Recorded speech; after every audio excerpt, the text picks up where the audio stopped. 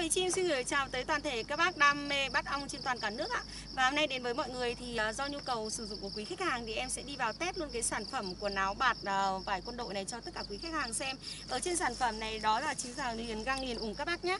Và chất liệu của nó là bạt ô tô quân đội các bác yên tâm. Các bác khi mua hàng rất lăn tăn là ong đất có đốt không này hay ong bỏ vẽ có đánh được không này thì hôm nay em sẽ đi thực tế vào cái sản phẩm này cho các bác xem các bác ạ. Các bác hãy hướng lên màn hình cùng em và ngồi xem video cái ờ, video này của em các bác nhé.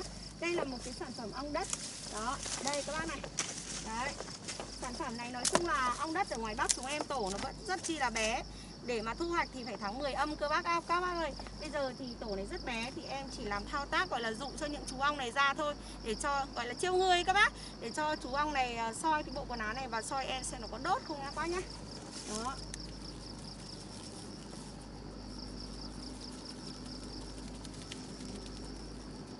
Đó các bác thấy không? Ui trời ôi, ong ra rất là nhiều các bác.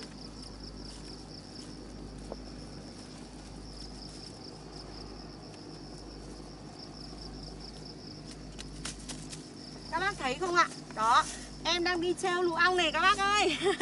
Đây phải nói là cầm que nghịch ong đấy các bạn Như trẻ trâu ấy các bác Nhưng mà phải làm như thế thì ong ra mới nhiều Để cho các bác mới thẩm được chất định ờ, cái bộ quần áo này phải không ạ?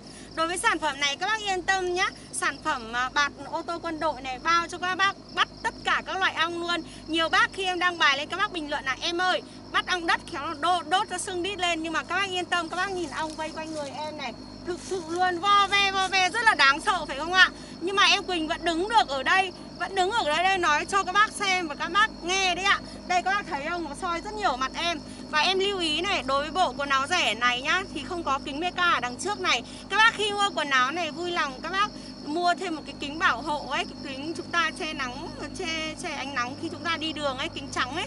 Chúng ta đeo vào mắt thì không bị ong đái vào mắt thì rất chi là ok này các bác ạ về độ an toàn của nó thì đảm bảo luôn điểm 10 luôn các bác. Đấy, các bác thấy ở đằng sau có ô thoáng không? Rất là thông thoáng, mặc lên rất là nhẹ nhàng. Một bộ quần áo này chỉ có trọng lượng là một cân chín thôi. Khi mặc lên cơ thể chúng ta rất là nhẹ nhàng, dễ vận chuyển luôn. Và găng tay này, các bác yên tâm này, Không bao giờ lo đốt luôn.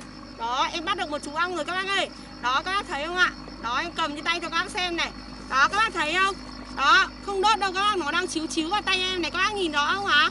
Đó, nó đang chiếu chiếu đây. Em quay gần cho các bác xem này.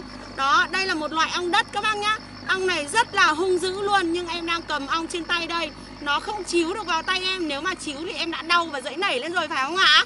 Nói chung bộ quần áo này rất đẳng cấp luôn. Bác nào đang có nhu cầu tìm quần áo ong, Có nhu cầu mua sản phẩm này hãy qua shop ủng hộ cho em. Các bác nhá. Các bác nào mà thấy video hay có thể cho em xin một chữ và đăng ký kênh các bác nhá và hiện tại bây giờ em cũng xin dừng, tạm dừng cái video này ở đây đây. Chào toàn thể các bác. Các bác nhớ đăng ký kênh giúp em nha. Xin chào tất cả mọi người ạ. à.